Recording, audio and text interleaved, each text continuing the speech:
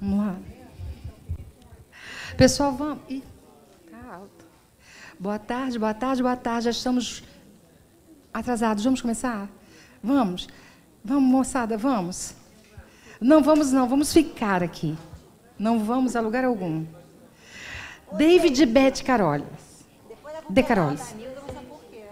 Fala. Vamos parar. Vamos começar. Fôlego para a gente retomar a vida. Evangelho, capítulo 12. Vamos nós, amai os vossos inimigos.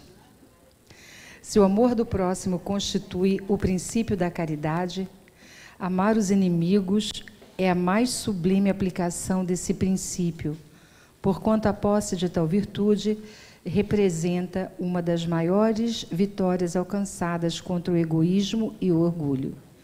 Entretanto, há geralmente um equívoco no tocante ao sentido da palavra amor neste passo. Não pretendeu Jesus, assim falando, que cada um de nós tenha para com o seu inimigo a ternura que dispensa a um irmão ou amigo. A ternura pressupõe confiança. Ninguém pode depositar confiança numa pessoa sabendo que esta lhe quer mal. Ninguém pode ter para com ela expansões de amizade, sabendo-a capaz de abusar dessa atitude. Entre pessoas que desconfiam umas das outras, não pode haver essas manifestações de simpatia que existem entre as que comungam nas mesmas ideias. Enfim, ninguém pode sentir em estar com o inimigo prazer igual ao que sente na companhia de um amigo.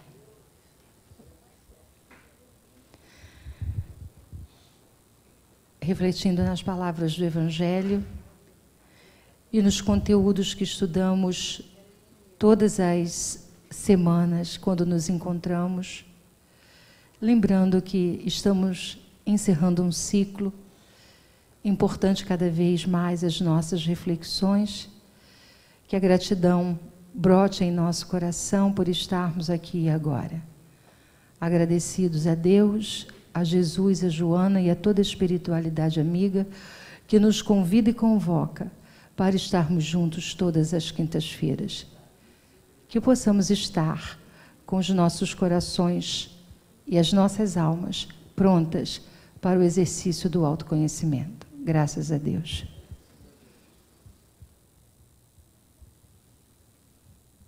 Vamos de bem-aventuranças? Vamos falar de quem? Dos misericordiosos hoje? Então vamos. Mas tem que gostar. Não, não, que eu não gosto de ser, que eu não gosto de falar dela. Não. É que ela é simplesinha. Né? Então fala de duas hoje. De, De nós duas? temos 45 minutos. A gente pode falar de misericordioso. Ele é até grande o texto desse. Desse da fome de justiça é legal. Eita! Esse é legal. Dos pacificadores também. Tem semana que vem Não, a tem última. semana que vem. Termina 1 de dezembro, Termina- semana que é. vem. Aí volta. Possivelmente, acho que em fevereiro. Sabe por quê? Porque carnaval ano que vem é no final de fevereiro. Então, não sei se a gente vai retornar em março, não. Mas também não tenho essa informação, tá, pessoal?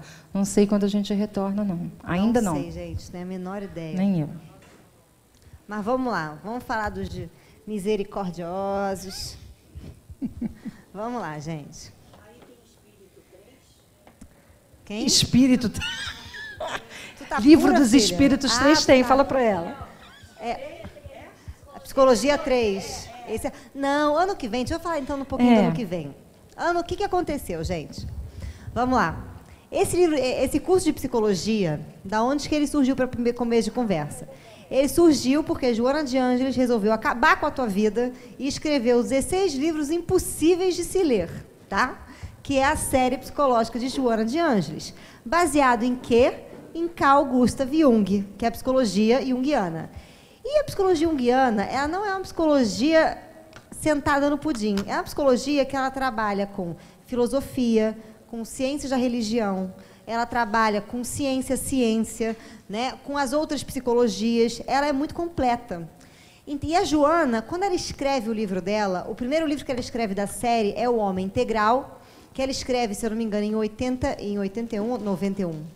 Acho que 91, 91, porque eu estou muito aqui a jantar, 91, tá? Ela escreve em 91 e ela escreve a partir de 11 encontros dela com Jung no plano espiritual. Isso é bafão do Divaldo, aquele que me contou, né?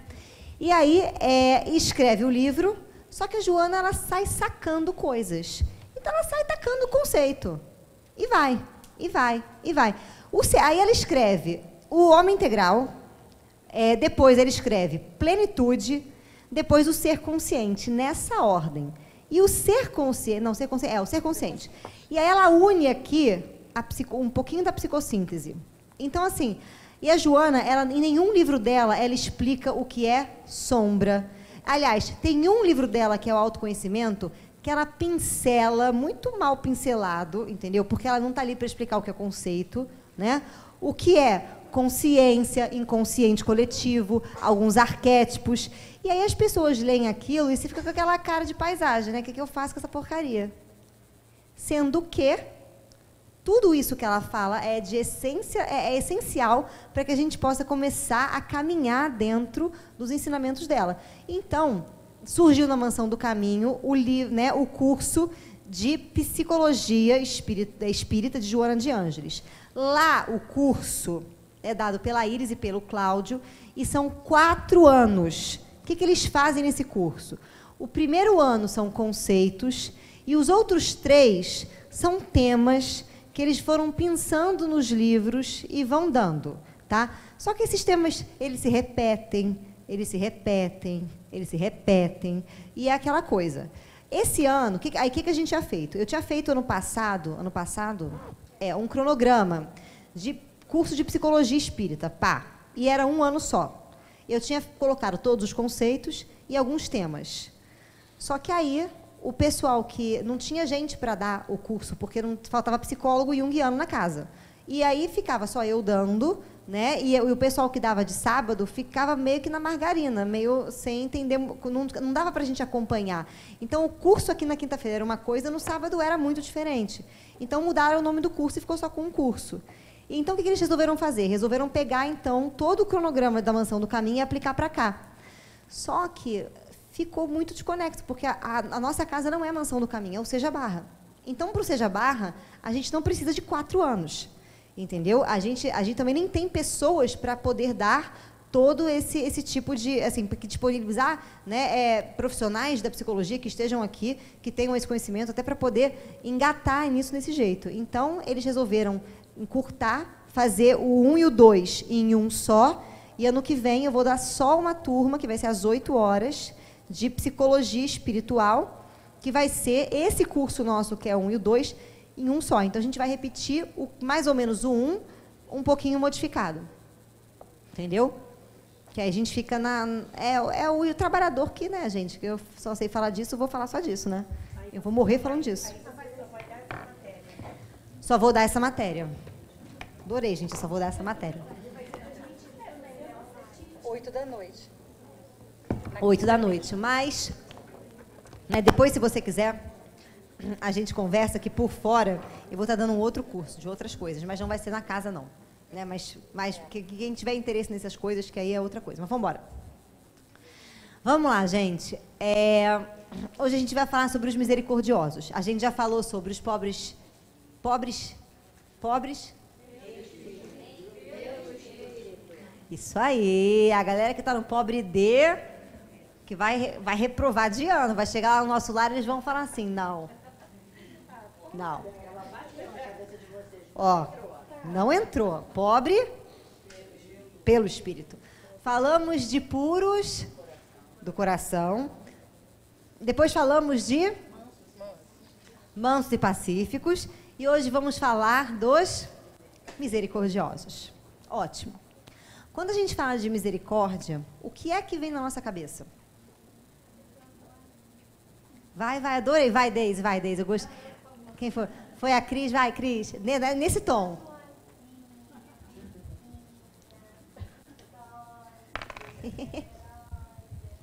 Adorei. A pessoa boazinha, meiguinha. Então, quem vem na sua cabeça? Que eu vou desenhar aqui para você.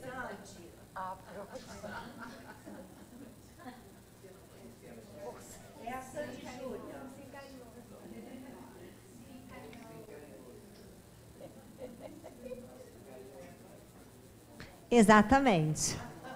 O ursinho carinhoso, tá?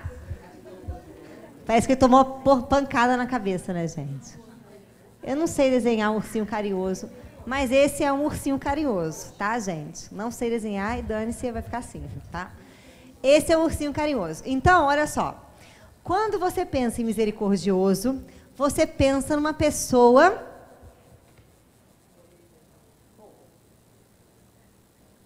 boa não. Boazinha. E você pensa também que essa pessoa boazinha, de certa forma, né, ela, é, ela é um pouco passiva, né? Ela não vê o, os erros alheios, né? Ela não fala mal dos outros, né? Ela tem uma, ela é, é santa. Santa não é assim não, porque se você pegar as santas que a gente conhece, se você pegar uma santa que é Clara de Assis, você vai ver que ela é muito apavirada, né? Aliás, meu bem, Joana, que é na pá certa que ela não é, né? Mas vamos embora. Então, olha só. É, é essa história de bozinha aqui que a gente quer falar. Por quê? Porque para você ser misericordioso, você tem que. É isso que fica na nossa cabeça. Tá? Você tem que.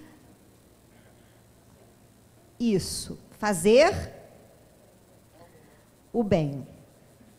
Sem dúvida alguma, fazer o bem é bom. Isso.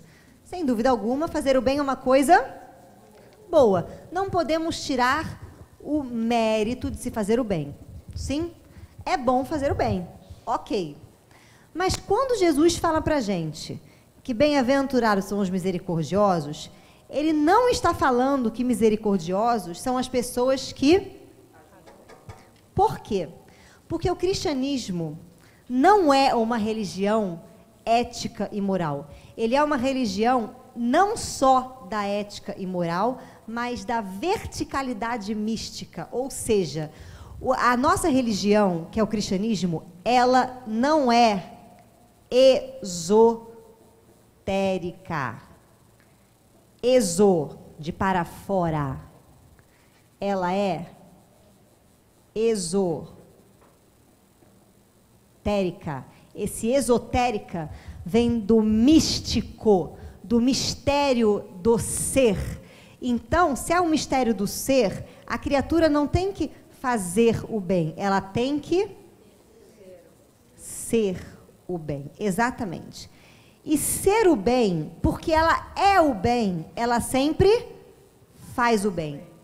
Mas se ela não é o bem, ela pode fazer o bem. Mas não quer, mas se ela não é o bem, ela não é o bem. Então isso quer dizer o seguinte, que uma pessoa que não é o bem pode fazer uma boa ação. Pode. Mas uma pessoa que é boa, ela só pode fazer boas ações. Vocês entenderam?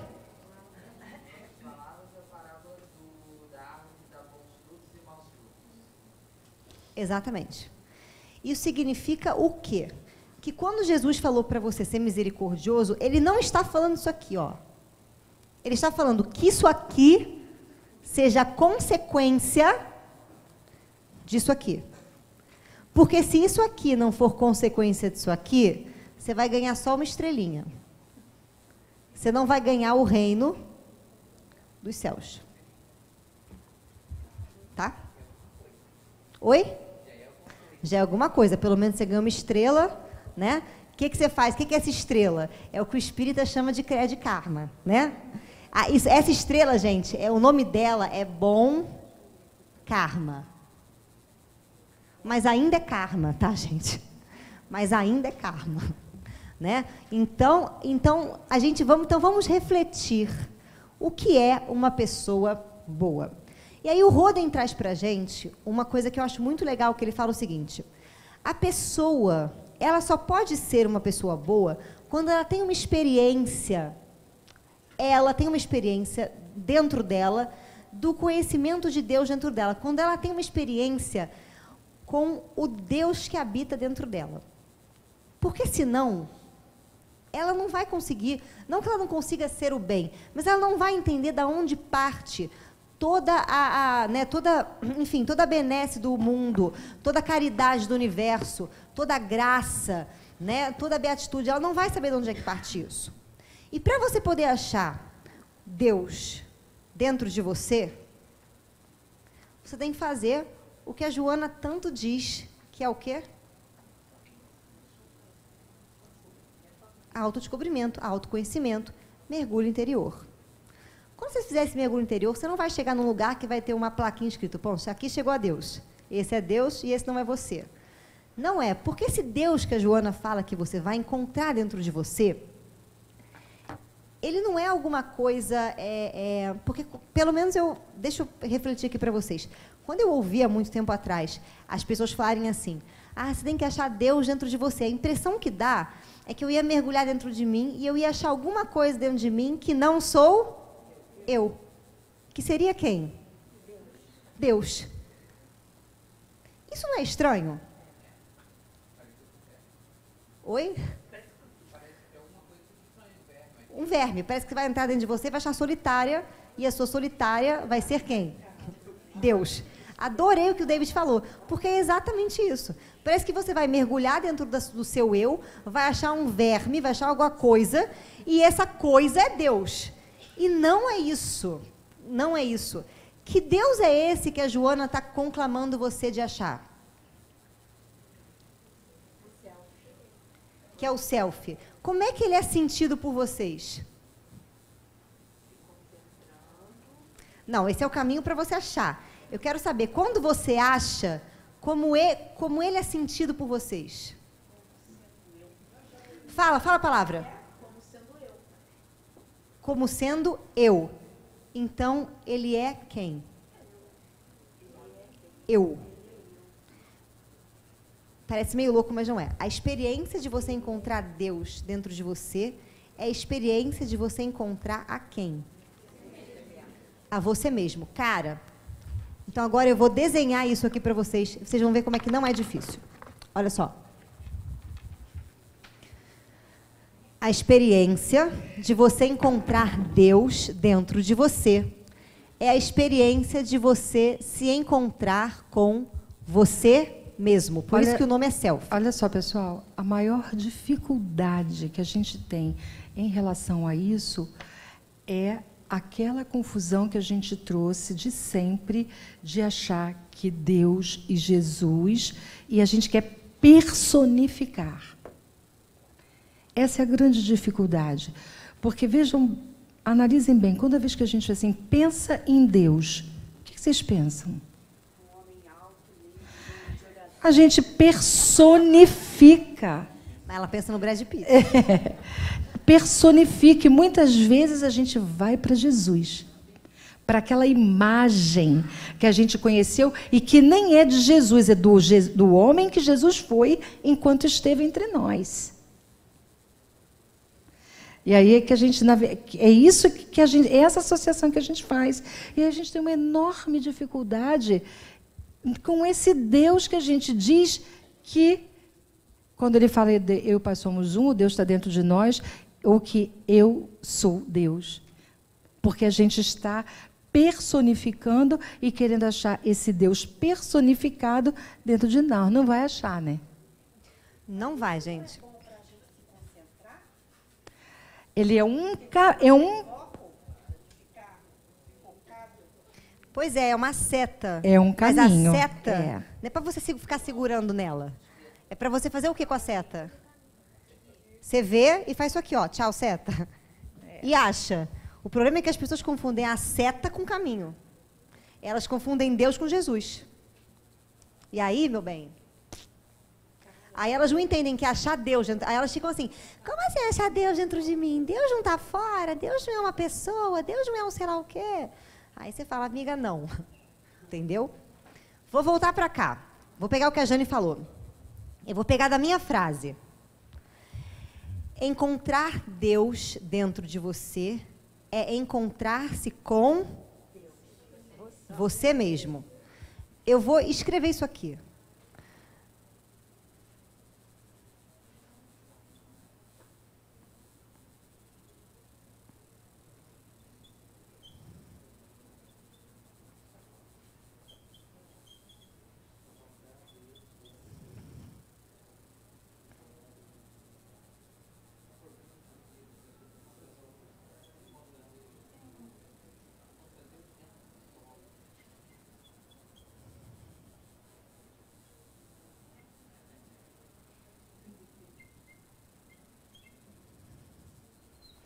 Foi, gente? Vocês entenderam?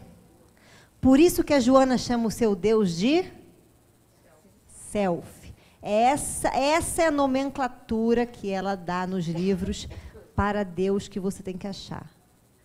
Self. Beleza, vou voltar aqui. Como é que funciona isso? Se você quer encontrar Deus dentro de encontrar Deus dentro de você, é encontrar-se com si mesmo. Então agora eu vou linkar tudo. Você só pode ser misericordioso depois que você se encontrar com você mesmo. Caso contrário, você vai fazer boas ações, mas você não vai ser bom. Porque para ser bom, você tem que se encontrar. E eu vou explicar como é que se faz isso. Vamos supor que esse círculo que eu desenhei aqui seja você. Seja a sua mente, ou a sua psique, ou sei lá o nome que você queira dar para isso. Seu espírito, sua alma. Tá? Esse aqui que está aqui.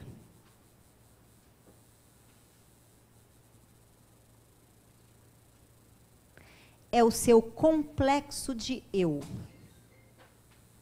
for para mim, estou no banho, tá? O que, que é o seu complexo de eu? Complexo de eu é o que você pensa que você é. Que pode ser chamado do seu amiguinho ego. Ou complexo de eu. Como é que esse complexo de eu ele é formado? Deixa eu fazer uma pergunta para vocês. Como é que vocês conhecem vocês?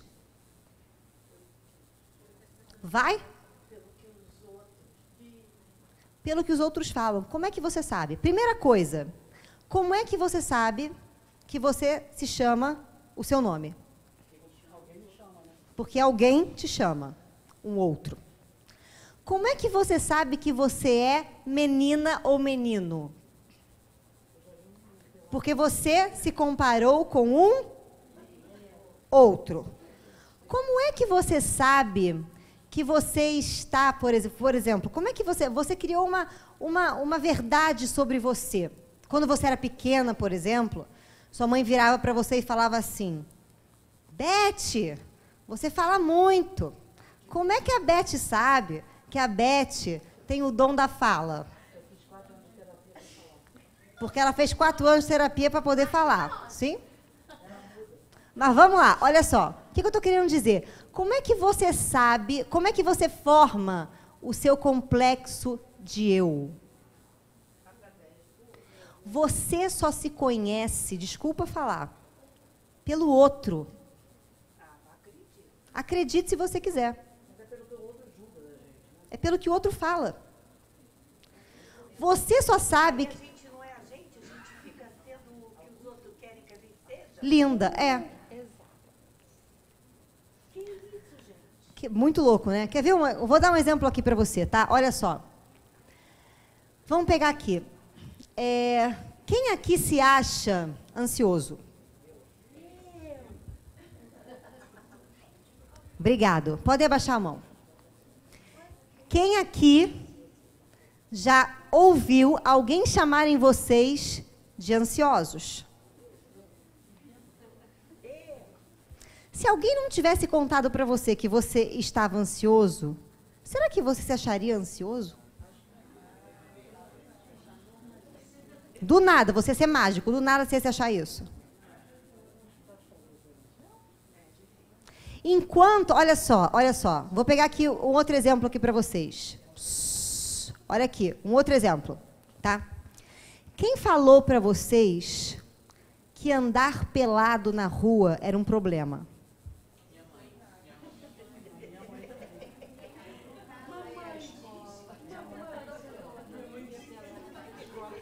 Ok. Se vocês nascessem hoje, tá? E ninguém falasse para vocês que isso era um problema, isso ia ser um problema? Não ia ser um problema. Então, deixa eu fazer uma pergunta. Então, deixa eu chegar aqui para vocês. Onde é que eu quero chegar? Tá? Prestem atenção. esse nosso complexo de eu, o que a gente pensa que a gente é, a gente adquiriu através da experiência com o outro, através do que o outro. Espera aí.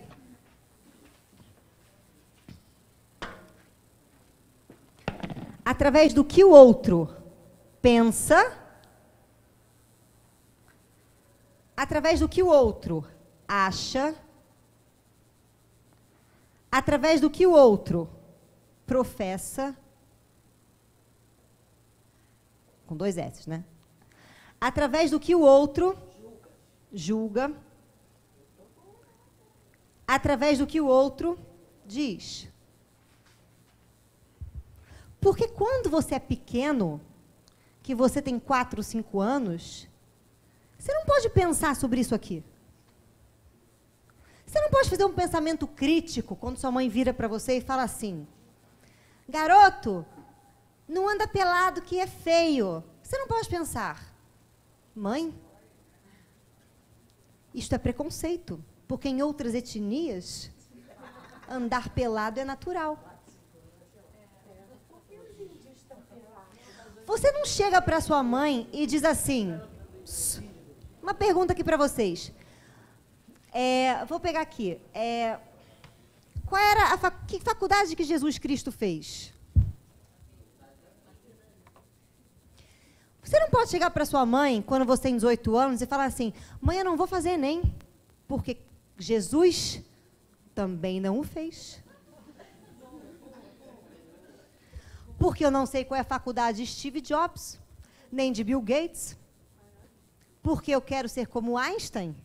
Porque eu penso diferente. Porque eu creio. Você pensa o que os outros pensam.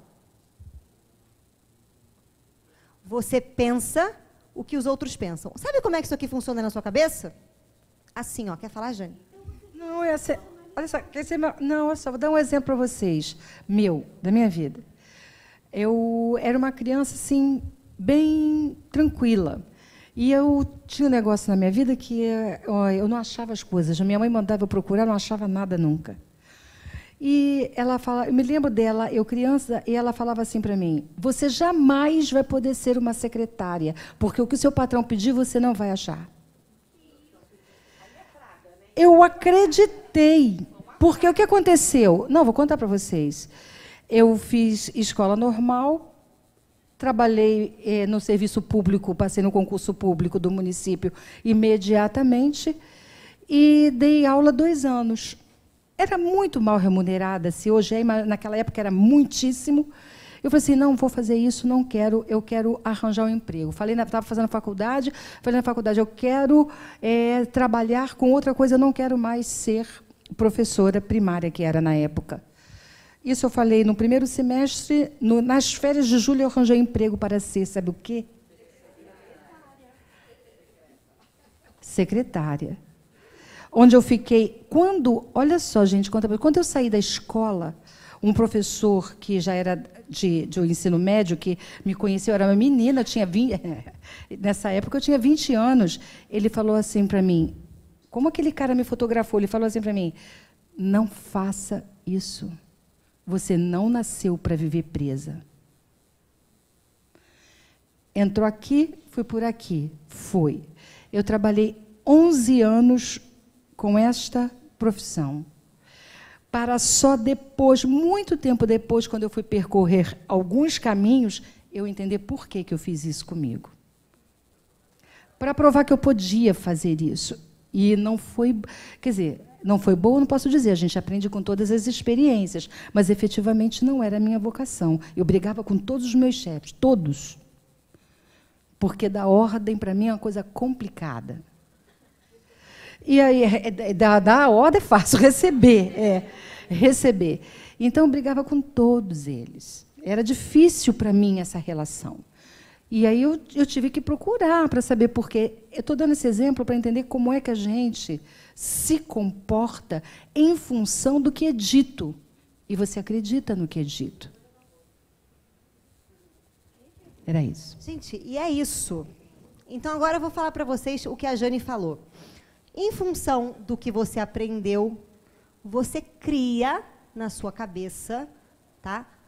Você vai criando aqui dentro o que a gente chama na psicologia, tá? De imago. Que são imagens desses outros que vivem em nós. E essas imagens desses outros que vivem em nós, elas falam, elas têm vozes. E se você não ouvi-las, se você não souber por que olhos você se enxerga, elas vêm, isso é um complexo, elas te dominam, você age por elas. E você jura por Deus que está fazendo aquilo que você pensa que é certo. O nome disso é obsessão. Então, eu vou dizer: este eu perdido nesse mundo de mim mesmo, só posso ser misericordioso quando eu tiver a coragem de olhar para dentro e conseguir me diferenciar dessas vozes. Conseguir fazer um pensamento sobre esses pensamentos. O que será que eu penso sobre ser misericordioso, sobre ser bonzinho? Porque esse bonzinho que vocês me disseram que era o ursinho carinhoso é um bonzinho que o outro te ensinou. E sabe muitas vezes quem é esse outro? Vou dizer, a religião burra, de religiosos burros, que não pensam em autoconhecimento, mas pensam que fazer o bem é ser bom, que pensam que falar baixo é ser manso, que pensam que ficar abraçando todo mundo que chega é ser carinhoso, que não têm um pensamento crítico sobre as coisas, porque são duais, porque estão olhando a aparência, porque não tem essência. E a gente tá igual boi de manada atrás e se culpando porque não consegue ser. E com raiva, quando tem que olhar para mim e falar, mas eu não sou assim, eu não concordo com isso. Aliás, sem coragem de dizer que não concorda com isso. Então, eu estou falando de religião porque eu estou aqui num templo religioso. Porque eu poderia estar numa empresa e dizendo, e vocês empresários, acreditando que vestir a camisa da empresa é perder o eu, é deixar o chefe sambar, é levar grito e tomar ovada. E acham que isso é ser um empregado maravilhoso. Porque falaram para você que esse é o melhor. Mas será que você acha que esse é o melhor? Falaram também para gente que boa mãe é aquela que não grita com seus filhos. É aquela que cria os filhos e os filhos são bem-sucedidos. Será que você tem tamanho poder de ser responsável pelas escolhas do seu filho? Será que isso é boa mãe? Mas aí vem aquela mãe ao centro espírita, chorando e se culpando. Ai, porque eu não sei o que eu fiz de errado.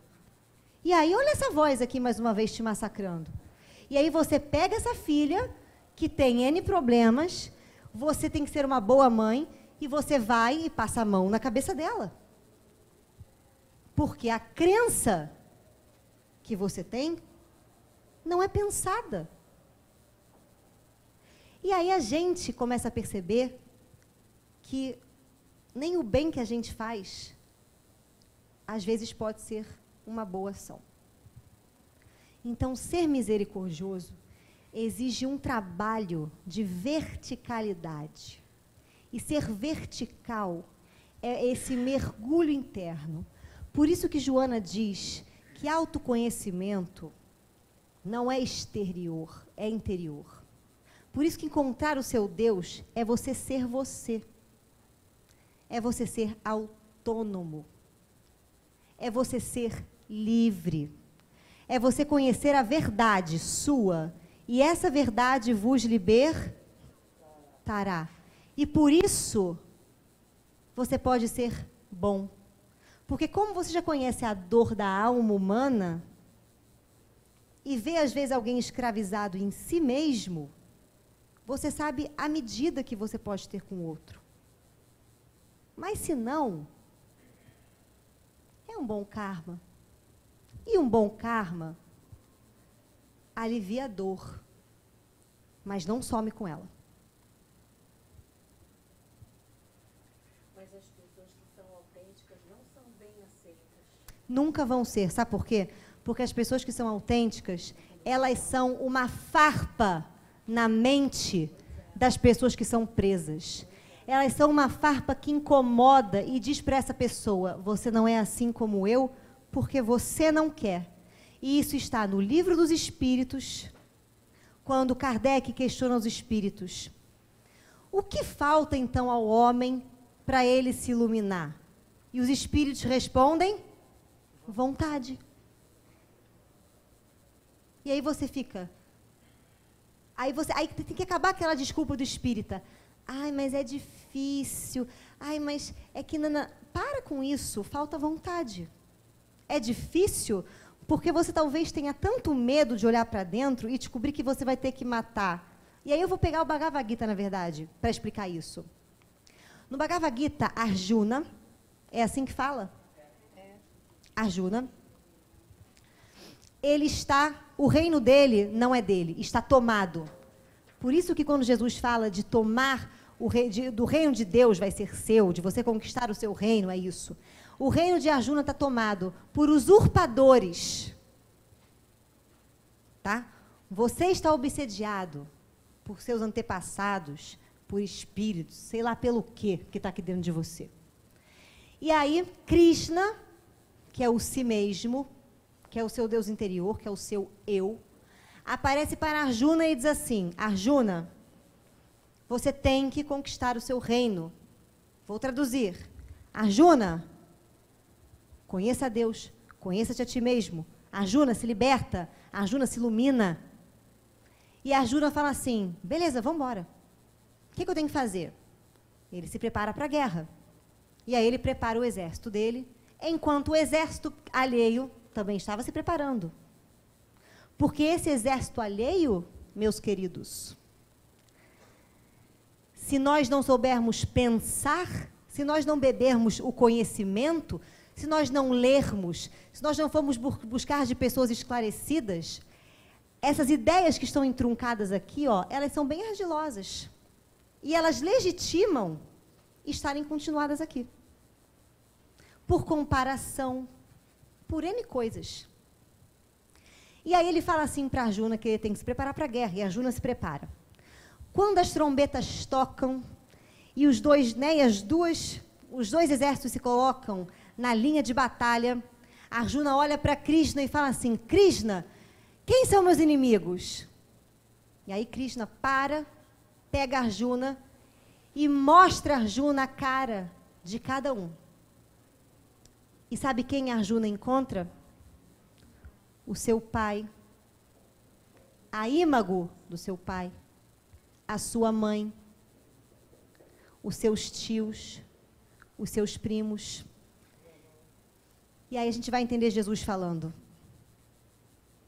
Odiai o vosso pai e a vossa mãe, porque aquele que não odiar o seu pai e a sua mãe, não abandonar a sua esposa, filhos, irmãos, para me seguir, não é digno de ser o meu discípulo. Não é abandonar a pessoa, é abandonar a imagem da pessoa que está na sua cabeça. É isso. Ele olha para. E, a, e Arjuna olha para essas pessoas que estão na cabeça dele e fala assim: Eu não consigo. É você olhando para algumas crenças que estão enraizadas e dizendo: Mas eu não consigo, mas eu sempre pensei assim, mas eu acho que isso é o certo. Eu não consigo. E aí Arjuna dá todas as desculpas para Krishna para não ir lutar. Até uma hora que ele cansa. E aí é a hora que ele se cala, porque não tem mais desculpas. E é a hora que Krishna começa a cantar o Bhagavad Gita. ele começa a dizer o que é se iluminar. E essa luta começa a ser empregada. Então é a hora, essa hora é a hora que a gente precisa, que a gente precisa implementar na nossa vida. É parar de dar desculpas, é a hora que a vontade aparece. É parar de ficar usando o espiritismo para dar reencarnação, nosso lar bônus horas, espíritos de, de, de para ficar dando desculpa de que eu sou ruim, de que eu sou muito não sei quê, que eu vou demorar muito para reencarnar. Eu assisti uma palestra, não sei de quem, que foi um alienígena que deu, que falou assim: não, porque a gente está ainda, nós estamos, nós somos primitivos, a gente está no começo ainda. Minha vontade foi de levantar e dar na cara dele, falar assim: fica quieto, fica quieto, porque você mata a vontade que está no coração das pessoas. Porque pensar que a gente está no começo, dá vontade de falar assim: eu nem vou. Eu estou no começo, achando que, que, com isso que eu tenho, ela não quero nem ir. Você não está no começo, não, filho. Você não está no começo, não. Porque não, não existe o começo, existe a hora que você resolve ir. E esse é o começo. Não, você não está no anos luz, não tem tempo para isso. O tempo é agora. Para Deus só tem um tempo que é o presente. Não tem idade para você fazer isso, não tem, não tem encarnação. Você não precisa esperar no mundo da regeneração, o mundo sei lá do quê, o mundo que o raio que o parta. É agora. E a pessoa fica, não, mas no mundo da regeneração vai ter mais bem. Para com essa porcaria. Não é nada disso. O mundo de regeneração é a hora que todo mundo começar a botar a mão na consciência e começar a fazer isso. Pronto. Isso é se regenerar, é se reconstruir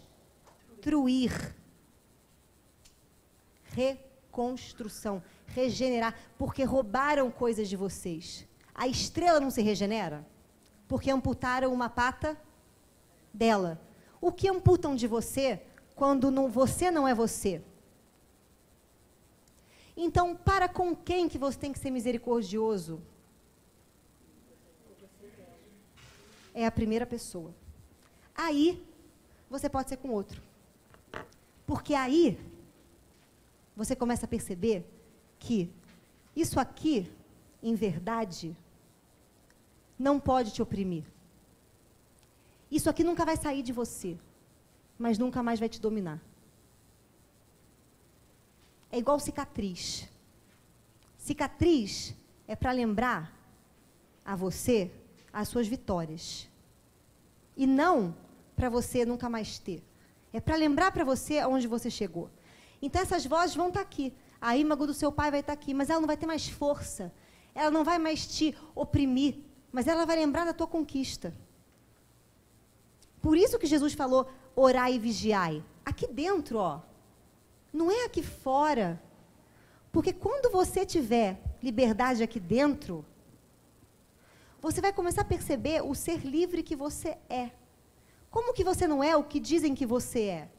Como que toda vez que você faz alguma coisa, seja ela qualquer atitude, as duas coisas sempre estão presentes. É assim no universo. Agora estamos no dia. Aonde está a noite? Fala. No Japão. A gente tem um som, em algum lugar tem que ter o silêncio. Então, quando você faz uma atitude austera, em algum lugar seu, você tem que encontrar a mansuetude. E quando você conseguir se olhar com esses olhos do não dual e saber que você não é nada disso, você é esse, que pode ser tudo e ao mesmo tempo não ser, e ser livre, aí você é Deus. Porque Deus é o quê? Oi? Tudo. Por isso que a Joana chama o selfie de atotar A hora que você descobrir que você é tudo, você não aceita mais é, é, é rótulo nenhum. Aliás, você até aceite que o outro te vê como rótulo, mas você não se importa. Porque você tem uma plena certeza de que você também é aquilo, mas não é só aquilo. Então você se liberta. Que é amar sua sombra.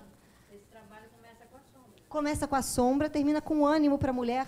Começa com a sombra e termina com a ânima para o homem, quando ele encontra as ímagos, quando ele encontra o amor, o valor dentro dele. Esse é o caminho de individuação nosso. É isso aqui, ó. Vira para você, ouve. Por isso que Jesus fala, a meditação, gente, ela não é, ela não é só para você ficar naquele. Por isso que eu falei para vocês, eu comecei com isso no primeiro dia que a gente fez o sermão da montanha aqui. Eu falei, meditar não é você só ficar naquela respiração que a gente fez e ficar sentindo aquela coisinha boa e ficar calmo. Aquilo é só para você poder achar o seu centro. Quando essas vozes começarem a te oprimir. Depois vem o segundo passo. Com que olhos que eu estou me olhando? Quem está no comando? Quem diz que eu sou o que eu estou me vendo? Pega a imagem, faz vir na mente. Quando, ah, eu estou me sentindo. É, ah, eu fui grosseira com fulano. Quem na minha cabeça aparece falando que eu sou grossa? Traz aqui, traz aqui. Porque às vezes a sua grosseria foi austeridade. E quando que você vai saber que a diferença entre austeridade e grosseria? Porque se você for se culpar toda vez que você foi austero, a austeridade vai ser sua sombra. E aí você sempre vai ser grosseiro. Então quem vem? É mãe? É pai? É marido? É vó? É vô? E por que, que eu sempre me vejo. Por que, que eu não consigo ver a mansuetude nessa hora? Por que, que eu não sei da minha intenção? Por que, eu não consigo pensar para mim o que é grosseria? O que é uma violência? O que é misericordioso? O que é ser bom? Por que eu não sei fazer esse. Por que eu não tenho essa independência? Enquanto eu não tiver essa liberdade de refletir sobre essas coisas, eu vou ser escravo de mim mesmo. E ser escravo de si é a pior prisão que tem. Porque ninguém pode te libertar. Ninguém pode te libertar. A não ser você. E você não pode cobrar de ninguém que traga felicidade para você. E de ninguém que te acalme. E de ninguém que faça você feliz. E de ninguém que mude para acabar com a sua dor. Só você. Lembra do detalhe da história que você contou de Krishna? Sim? Krishna não faz nada. Ele pergunta para Arjuna, o que, que você prefere? Me ter como conselheiro ou um exército inteiro e lutar junto com um exército inteiro? Ele preferiu Krishna. Sim. É. Ele preferiu Krishna. Krishna, o que, que Krishna faz como conselheiro? Porque, na verdade, o que, que é o conselheiro? O que, que é o teu self? O que, que é teu espírito guia que a gente fala tanto aqui? Oi? Teve. O que que, o que que eu, na verdade, gente, essa luta que a gente está falando é a luta que Gandhi vem, quando Gandhi vem falando da não violência, é isso. Você não vai extirpar de você as coisas. Você vai dominar com amor. Como assim? Você só pode amar, por exemplo, uma voz que te oprime quando você fizer uma reflexão sobre aquilo que você acha que é a opressão que aquela voz está falando. Por exemplo, se a sua voz está dizendo para você que você é uma pessoa fraca e fraco para você é uma coisa ruim, você só vai amar essa voz quando você descobrir que fraqueza é uma grandeza. Quando você mudar a visão que você tem sobre a fraqueza. Isso é dar outra face. Dar a outra face não é você apanhar na outra cara, entendeu? Dar a outra face é você o, o oposto, é você conseguir transcender, é você conseguir não resistir ao mal. O que, é não resistir ao mal? Eu não vou ver você como se fosse uma coisa má. Eu vou ver você com outros olhos. É isso. Mas para isso eu preciso parar de pensar o pensamento do outro e criar um pensamento meu. Agora, Jesus, naquela época, só falava tudo isso em parábolas. Aquela civilização não entendia nada disso. Como hoje, para a gente é também muito difícil. Né? Mas Jesus, na verdade, por que, que ele falava por parábolas? Para os discípulos dele, ele não falava por parábolas, não. Ele falava o quê? Aqui, ó. Ele não falava desse jeito. Mas ele falava assim. Porque eu estou usando para você a linguagem psicológica. Mas Mas as Jesus. Não, mas alguns discípulos entenderam. Os discípulos entenderam. Discípulos, mas um pouco mesmo entendeu. Alguns, ó, Joana de alguns Cusa entendeu. entenderam. É. Ó, É. os, os cristãos entenderam. Você para pensar, Joana de Cusa, que é Joana de Ângeles, ela entendeu. E ela não foi uma discípula. Ela teve com ele algumas vezes e, ó, captou. E outros tantos. Por quê? A gente vê Jesus. É porque que acontece também? A gente vê a palavra de Jesus e a gente não está na época dele. Por que, que Jesus usa a palavra. Por que, que Jesus usa reino? Porque naquela época. A realeza era uma, a reali- é uma coisa na vida deles. É, né? é O um- é um reinado. contexto dele. Jesus usa o reino porque naquela época existia o quê? O reino era aquela questão de você ter, né? Era Roma, que era o império. nananã. Ele usou o contexto da época para poder expressar isso. Talvez se fosse hoje, ele falaria assim para você: seja o seu próprio presidente. Ele, ele, assim, ele, ele ia falar assim para você: vote em você mesma. Aí você fala: como é que eu vou votar em mim mesma, Jesus? Como assim? Como é que eu vou votar em Vote em você. Pare de buscar Freixo, para de buscar Crivella, para de buscar Jean-Yves, para de buscar essa porcaria, alguém que represente você. Se representa você mesma. Vai lá você, vai lá, pensa nessas porcarias, seja você. Talvez hoje ele usasse uma outra forma mais contemporânea para falar disso. E a gente ia entender? Ia. Ia. Se a gente tivesse a cabeça o quê? Aberta. Na verdade, a gente só ia entender se a gente tivesse. Desculpa falar assim, mas na. A gente só ia entender se a gente estivesse sofrendo. Porque bem-aventurados os aflitos. A gente só ia entender se a gente tivesse saco cheio desse mundo.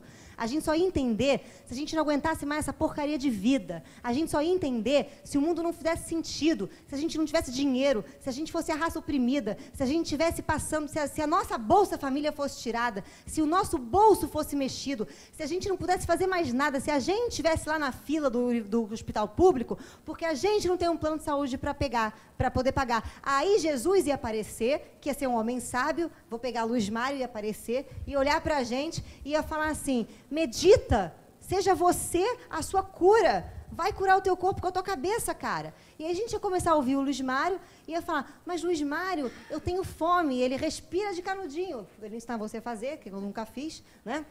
Ele ia ensinar você a se olhar, ele ia ensinar você a fazer meditação do coração, ele ia ensinar você a ler o Gita, ele ia ensinar você a fazer isso, que é isso que o Luiz Mário faz. Aí sabe o que ia acontecer? Você ia ouvir, você ia vir aqui beber, você ia falar, cara, legal, saquei. Pronto. Entendeu? Aí você ia se iluminar. Então, encerramos. Acabou o tempo. Vamos embora então, gente. Ô. Então vamos lá, gente. Eu vou fazer a prece para a gente poder encerrar. O Luiz Mário não come nada. Ele é, e é magro, então o Luiz emagrece, meu bem. Vamos lá.